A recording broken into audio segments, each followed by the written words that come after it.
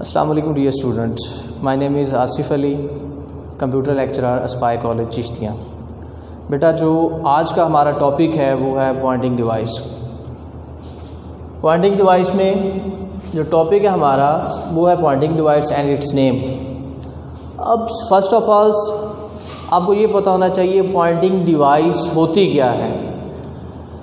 An input device use to control a pointer on the screen input device के ज़रिए जो pointer को control करती है स्क्रीन स्क्रीन किसकी हो?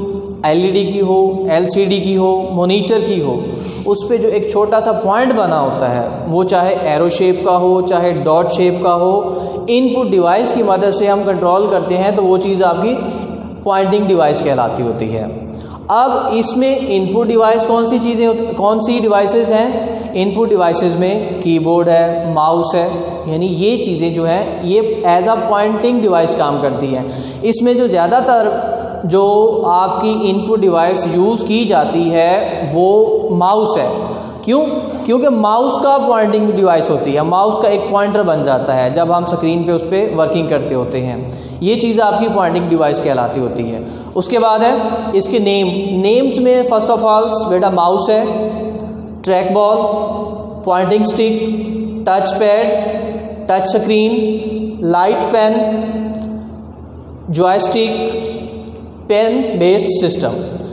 इन, ये जो डिवाइस के नेम है बेटा, इन सब में ये फंक्शनैलिटीज़ यूज़ की जाती है। कौन सी? पॉइंटर वाली।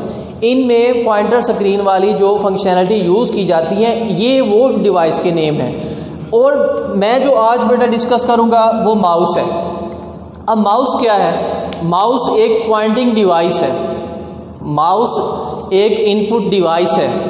क्यों इसको पॉइंटिंग डिवाइस क्यों कहा जाता है? पॉइंटिंग डिवाइस इसलिए कहा जाता है क्योंकि जब हम स्क्रीन पे mouse with the help of mouse कोई वर्किंग करते हैं तो इसका एक पॉइंट नज़र आता है आपको। किसकी शक्ल में? एरो की शक्ल में। ये जो एरो की शक्ल में पॉइंट होता है, इसको हम पॉइंटिंग डिवाइस कहते हैं। इसका पॉइंट होता है। इस तरह से। ऐसे एक इसका माउस का एक पॉइंट होता है। उसको हम पॉइंटिंग डिवाइस कहते हैं। इसमें मज़ीद अगर हम देखें, मज़ीद हम देखें इसमें, ये चीज़ आपकी पॉइंटिंग डिवाइस यानी एक पॉइंट सा बन जाता है, इसको हम पॉइंटिंग डिवाइस कहते हैं। अब माउस के नीचे भी पॉइंट होते हैं, जो लाइट्स होती है क्योंकि माउस हमारे दो किस्म के होते हैं, एक एक वो माउस होते हैं जिनमें लेज़र लाइट यूज़ की जाती है और एक वो माउस होता है जिसमें बॉल यूज़ होती है। लेकिन टाइप्स की बात बाद में करूँगा, पहले माउस की फंक्शनैलिटीज़ माउस की वर्किंग के बारे में बताऊँगा आपको। माउस बेटा कैसे काम करता है? माउस आपका फ्लैट सरफेस जो जगह होती है, वहाँ पे काम करता है। अब फ्लैट सरफेस कौन सी होती है जगह, जिसमें जिग जैग ना हो, जो ढलवान ना हो, जो बिल्कुल प्लेन हो, वो चीज़ आपकी फ्लैट सरफेस कहलाती होती है। अब माउस उस उस जगह पे काम करेगा। अगर अदरवाइज़ जो जगह है, वो जिग जैग है। जिग जैग वाली जगह पे माउस क्या करेगा? सही तौर पे अपना फ़ंक्शन जो है, वो परफॉर्म नहीं करेगा।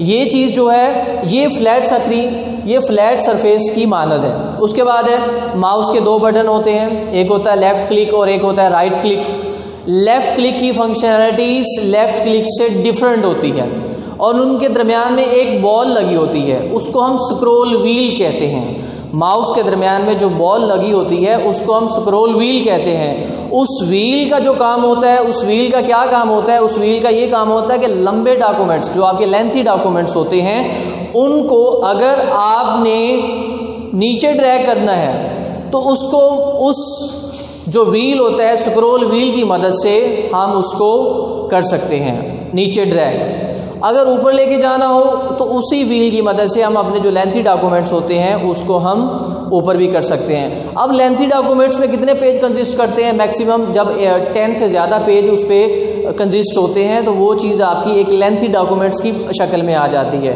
अब इसमें क्या होता है? अगर हम इसमें जो इसका पॉइंटिंग डिवाइस होती है, इसका जो कर्सर होता है, अगर कर्सर कर्सर से हम करते हैं अगर आपके पास एक दस पेज है, आपने दस, आपने दसवें पेज पे आपने कोई काम करना है, कोई चीज़ टाइप करनी है with the help of keyboard आपने क्या किया? आपने उसको नीचे लेके आना शुरू कर दिया। अब कर्सर कर्सर की मदद से। तो वो मैक्सिमम आपको दो मिनट्स का टाइम रिक्वायर्ड होगा, तब जाके कर्सर नीचे आएगा। क्यों? क्योंकि वो line by line line by line नीचे आता जाएगा।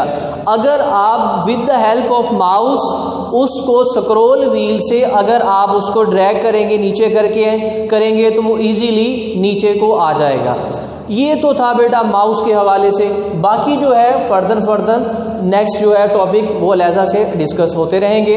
इन अल्लाह ताला बेटा आपका हामी नासिर, अल्लाह हाफिज़।